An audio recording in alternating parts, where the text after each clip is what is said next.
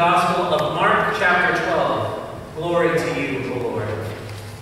Then they sent to him some Pharisees and some Herodians to trap him in what he said. And they came and said to him, Teacher, we know that you are sincere, and show deference to no one, for you do not regard people with partiality, but teach the way of God in accordance with the truth. Is it lawful to pay taxes to the emperor or not? Should we pay them, or should we not? But he said to them, Why are you putting me to the test? Bring me a denarius and let me see it. And they brought one. Then he said to them, Whose head is this, and whose title? They answered, The emperor's. Jesus said to them, Give to the emperor the things that are the emperor's, and to God the things that are God's. And they were utterly amazed at him. The gospel of the Lord. Praise to you, O Christ. You may be seated. Well, brothers and sisters, grace to you and peace from God our Father and the Lord Jesus Christ. Amen. It's hard to believe, but this Friday is already the 4th of July. It seems that June has just flown by. I can't hardly believe we're in the middle of summer already. This weekend, of course, we celebrate the birth of our nation. We celebrate the day that our nation declared independence from Great Britain. Celebrate that our nation dedicated itself to the pursuit of freedom. And of all the freedoms that our nation has pursued, perhaps the most important is the freedom of religion. The freedom to believe what you believe without fear to government. The separation of church and state. Now, separation of church and state is a wonderful idea, it's a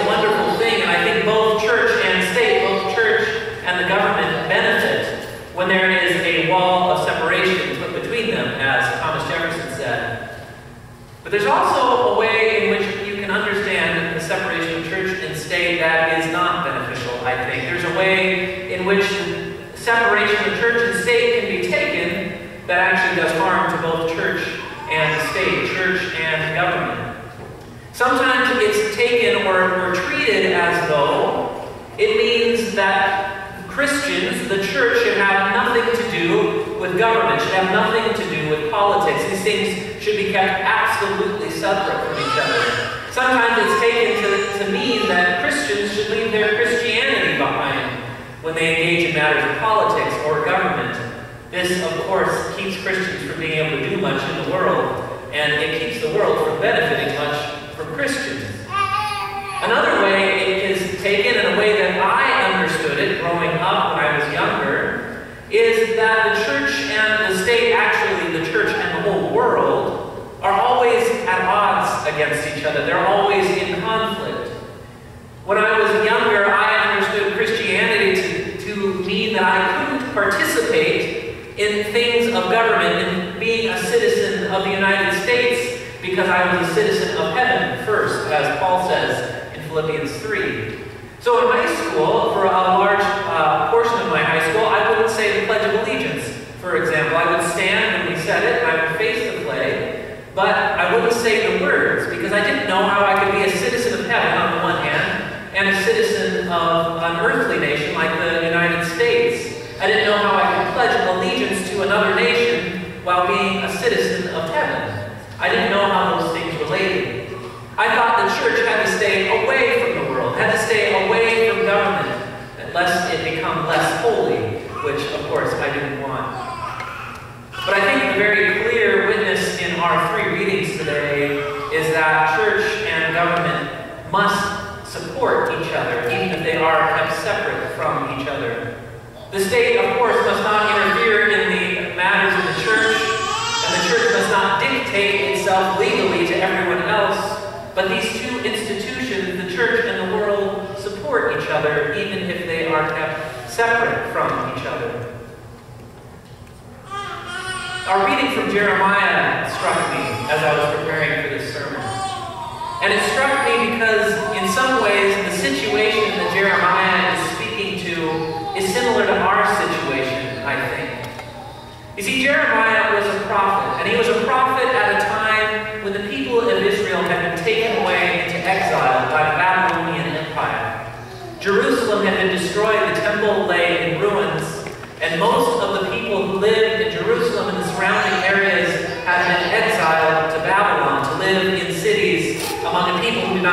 language, did not share their God, and did not share their culture and their stories.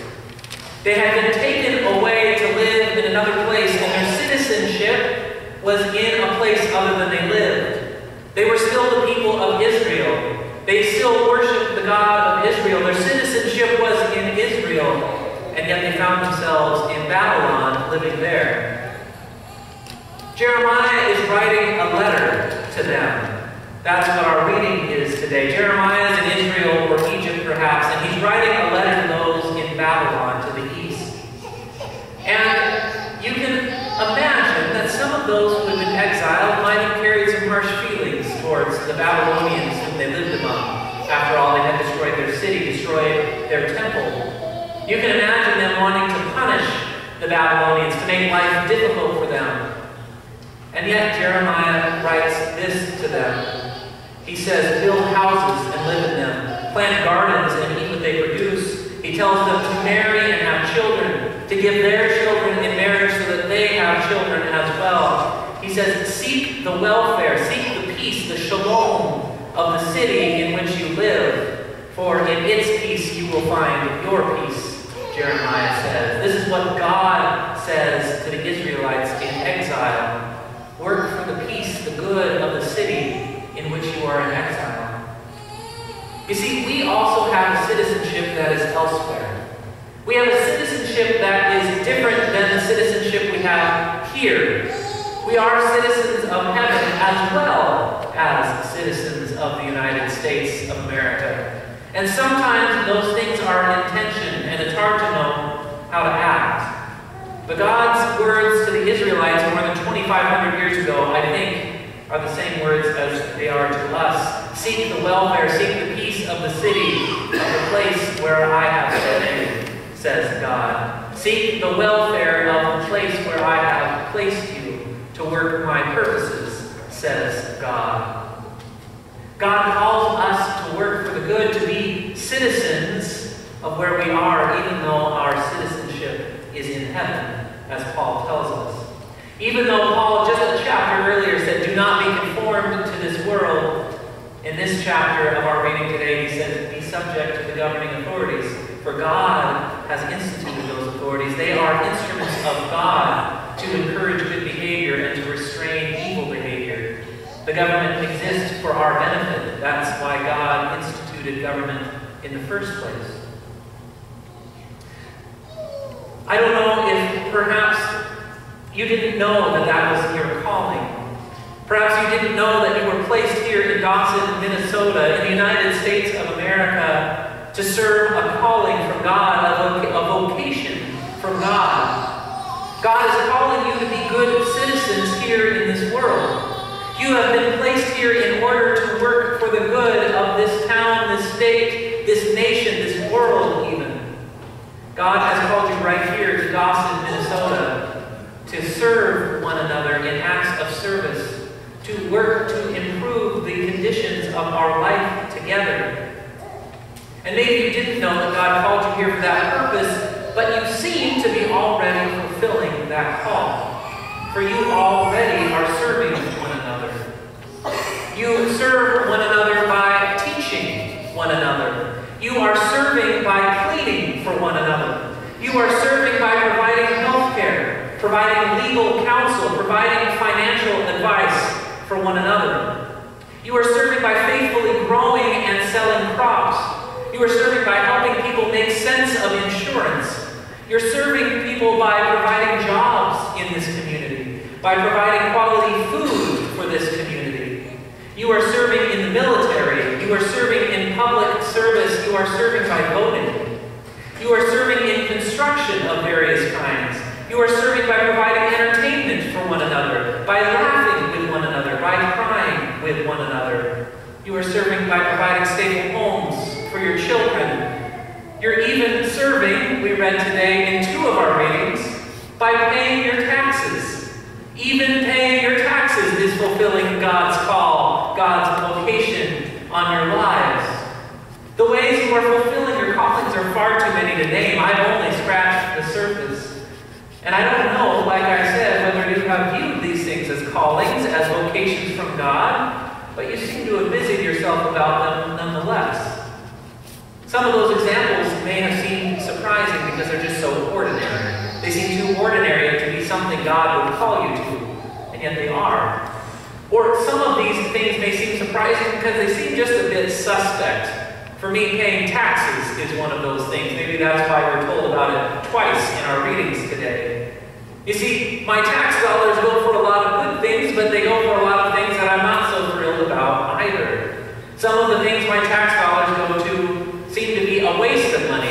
good intention, but it could be gone about in a different way. So I think anyway. And some of the things my tax dollars go to, I, I just don't think are good things at all. And yet my tax dollars do go for very good things, for schools, for roads, for public transportation, public services. They go to help those in need. There are very many worthy causes my tax dollars go to as well. God is calling me to support those in authority as they work for the good, however imperfectly, here on earth.